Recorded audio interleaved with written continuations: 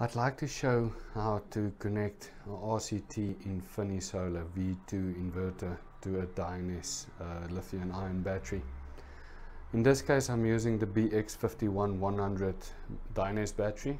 Um, it, the connection is exactly the same as a A48100. Um, so the Infinisolar V2 inverter is not equipped with internal BMS communication. So because of that, you do need to buy um, external box called the Infini Solar BMS box. Um, this will enable the inverter to communicate with the battery.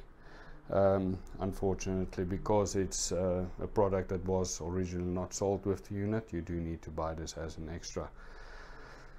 Um, one thing to mention uh, first issue is that the BMS box do not come with a power supply. Um, it do work on 12 volts. Um, so I would recommend to just buy one of these normal um, 12 volt power supplies uh, that can switch between voltages uh, 3 volts 5 volts 9 volts and so forth um, that you can generally get anywhere um, and set it to 12 volts for this BMS box.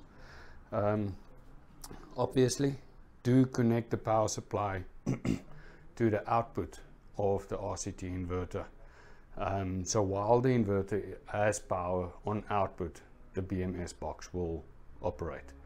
Um, obviously, if the BMS box uh, lose power, you will lose BMS communication as well. So it's critical to make sure the BMS box do receive power from the output of the inverter. So it's always powered on while uh, the inverter is running.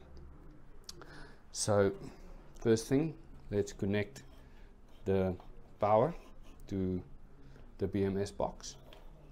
Secondly, you would have received a grey cable like this, serial uh, communication on the one end and network RJ45 on the other end. Um, this cable is very short, note that I've made it shorter personally. Um, the cable that you will receive is something like 1.2 meters long, um, so do not let the length of the cable fool you. Um, however, make sure you do use this cable that came with the inverter. Um, the cables uh, that you will find online do not have the same pinouts. Um, it do not work with this cable, so make sure you use the in cable that came with the inverter. So this will then go to the serial RS232 side of the BMS box.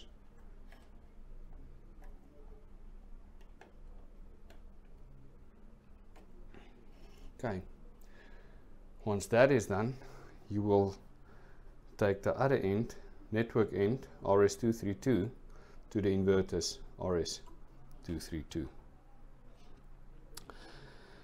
Then the cable um, leading to the battery needs to be modified. The cable that came with the BMS box, uh, the pin out is not correct. So you do need to change that. Generally, I prefer to keep the cable uh, on the battery end as a normal networking cable. So you can use any general uh, network cable with the general networking color code side. Um, this you will connect to the battery in.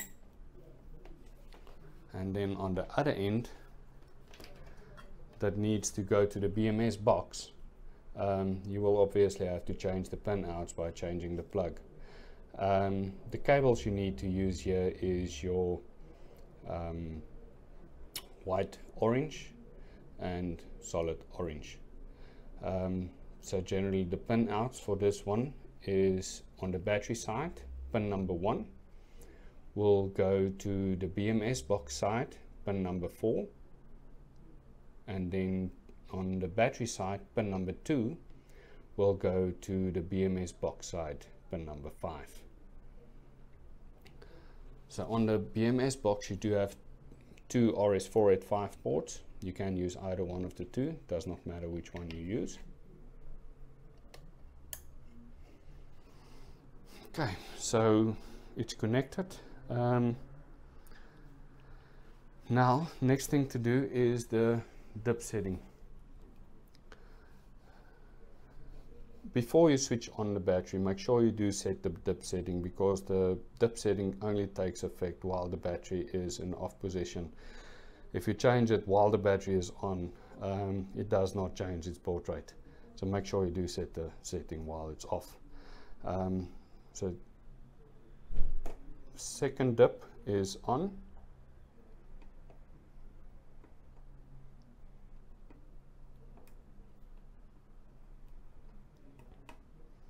and the rest is off. So number one is off, two is on, three and four is off. Now we can switch on the battery.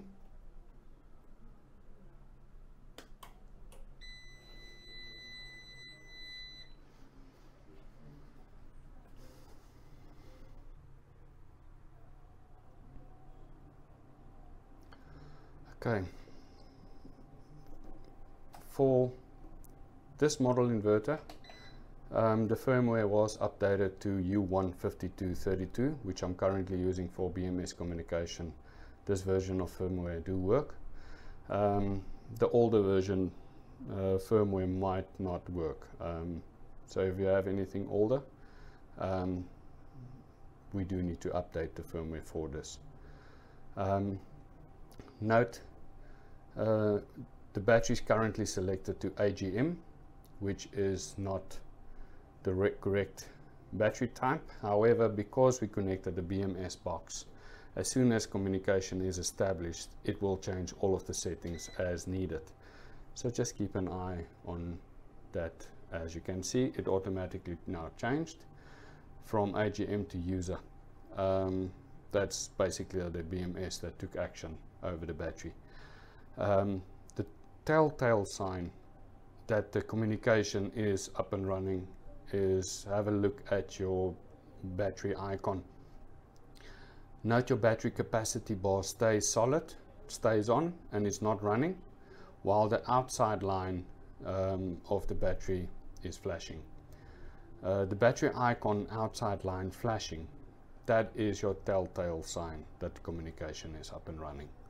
If the battery is charging, then obviously your battery capacity bars will run up and down or from down to up while as it's busy, charging. Um, but the outside line flashing as it's doing now, that is your BMS communication that's up and running. And that is it. We've established BMS communication.